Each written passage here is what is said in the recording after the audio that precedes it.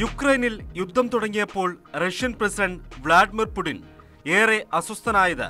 സ്വന്തം ഇന്റലിജൻസ് സുരക്ഷാ ഏജൻസിയായ ഫെഡറൽ സെക്യൂരിറ്റി സർവീസിന്റെ മോശം പ്രകടനത്തിലായിരുന്നു.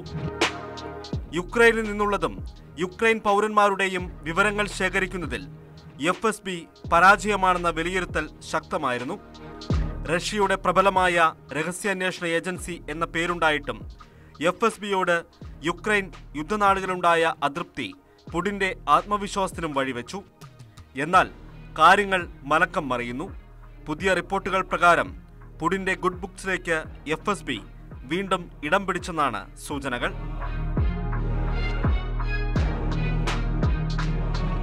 അടുത്ത കാലത്തായി എഫ് എസ് ബിയുടെ പ്രവർത്തനങ്ങളിൽ പുടിൻ തൃപ്തനാണെന്നാണ് റിപ്പോർട്ടുകൾ. പുടിന്റെ വിശ്വസ്തനായിരുന്ന അലക്സാണ്ടർ ഡുഗിന്റെ മകളും മാധ്യമപ്രവർത്തകയുമായ ഡാരിയ ഡുഗീനയുടെ കൊലപാതകം സംബന്ധിച്ചുള്ള വിവരശേഖരണമാണ് എഫ് എസ് ബിയിൽ പുടിന് വീണ്ടും വിശ്വാസമുണ്ടാകാനുള്ള കാരണം. ഡാരിയ ഡുഗീന കൊല്ലപ്പെട്ട കാർ ബോംബ് ആക്രമണത്തെക്കുറിച്ചുള്ള അന്വേഷണം അതിവേഗം പൂർത്തിയാക്കുകയും റിപ്പോർട്ട് നാടകീയമായി ജനസമക്ഷത്തിലേക്ക് എത്തിക്കുകയും ചെയ്യാൻ അവർക്ക് കഴിഞ്ഞു. ക്രൈമയിലെ കെർച്ച് പാലം തകർക്കപ്പെട്ടപ്പോഴും എഫ് എസ് പിയുടെ ചാരക്കണ്ണുകൾ പുടിന്റെ പ്രതീക്ഷയോളം ഉയർന്നു പ്രവർത്തിച്ചു. സംഭവത്തിൽ അഞ്ചു റഷ്യക്കാരെയും മൂന്ന് വീതം യുക്രൈൻ അർമേനിയൻ പൗരന്മാരെയും എഫ് എസ് ബി അറസ്റ്റ് ചെയ്തു.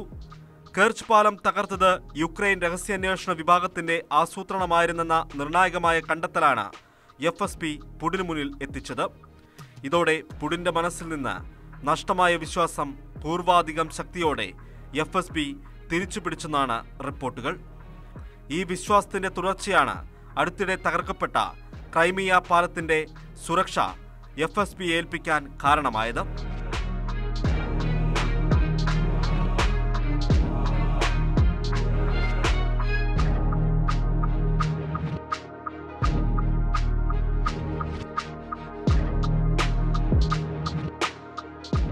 ഡാരിയ ഡുഗീനയുടെ കൊലപാതകത്തിലും കെർച്ച് ആക്രമണ അന്വേഷണത്തിലും എഫ് എസ് പിയുടെ അന്വേഷണത്തിൽ വീഴ്ചകൾ കണ്ടെത്താനാകില്ല.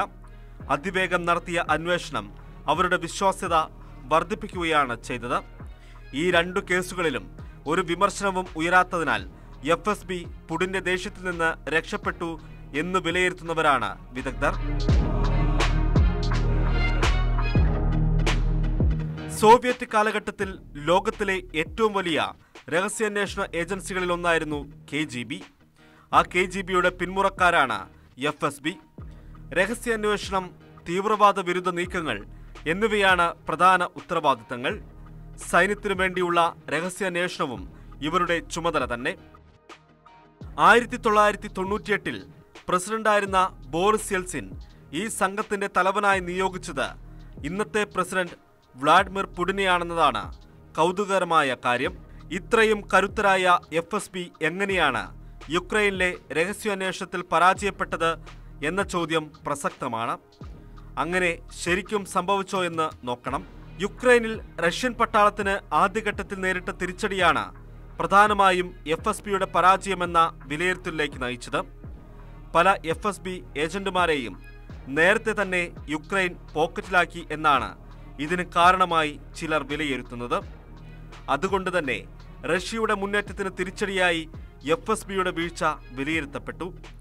ക്രംലിനെ എഫ് എസ് ബി തെറ്റിദ്ധരിപ്പിച്ചെന്നും റഷ്യ വിലയിരുത്തിയിരുന്നു.